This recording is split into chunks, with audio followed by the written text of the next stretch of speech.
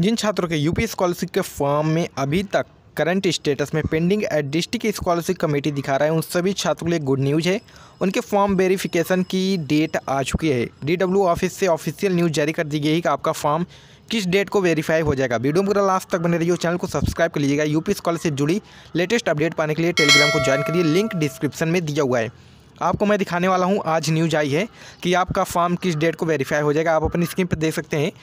News nation की तरफ़ से यह न्यूज़ जारी किया गया है। ई न्यूज़पेपर आपको गूगल पर मिल जाएगा। बाकी मैं आपको दिखा दे रहा हूँ।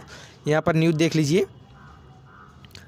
यूपी स्कॉलरशिप यहाँ पर आप अपनी स्क्रीन पर देख सकते हैं, जहाँ पर आपको एरो दिखाई ले दे रहा है। इसे लेकर जिला समाज कल्याण अधिकारी की ओर से स्टूडेंट का स्कॉलरशिप फॉर्म वेरिफिकेशन किया जा रहा है। जानकारी के मुताबिक स्टूडेंट का फॉर्म पाँच मार्च तक वेरीफाई हो जाएगा।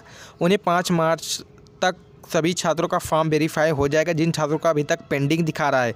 तो आप लोग टेंशन मत लीजिए, मार्च में आपका फॉर्म एकदम हंड्रेड परसेंट वेरीफाई हो जाएगा। बाकी फरवरी लास्ट तक ही ज़्यादातर छात्रों का फॉर्म वेरीफाई कंप्लीट हो जाएगा। पंद्रह मार्च तक आप सभी छात्रों की स्कॉलरशिप आपके अकाउंट में भेज दी जाएगी। यही न्यूज़पेपर में आज की न्यूज़ निकाली गई थी। तो आप लोग चैनल को सब्सक्राइब करके वीडियो को शेयर करिए, कोई भी इन्फॉर्मेशन चाहिए कमेंट करके पूछिए। टेलीग्राम में आप लोग पर्सनल कमेंट कर सकते हैं।